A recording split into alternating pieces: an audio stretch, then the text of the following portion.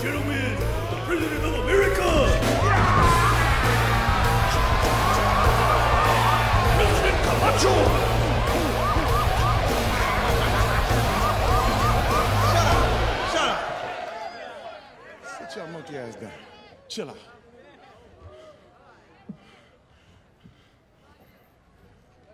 Shit.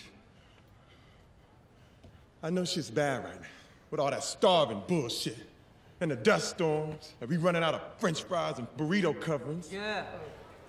But I got a solution. That's what you said last time, dipshit. I got a solution. You're a dick. South Carolina, what's up?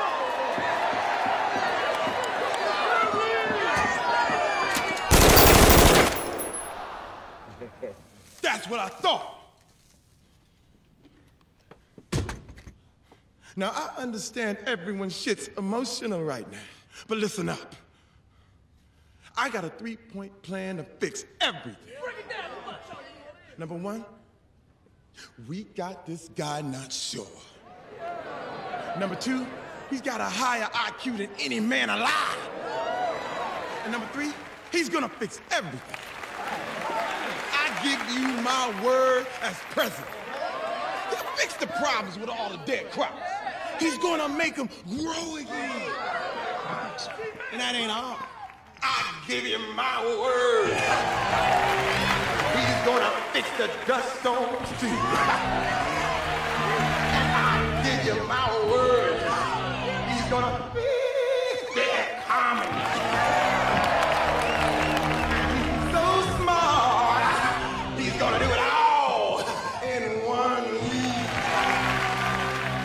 President Camacho stood before the world and promised everyone that Joe would solve all their problems. He would not only end the Dust Bowl and heal the economy, but he would cure acne and car sickness as well. And if he didn't, President Camacho made another promise. He would kick Joe's smart balls all the way up to the roof of his smart mouth, and then he would throw his brainy ass back in jail.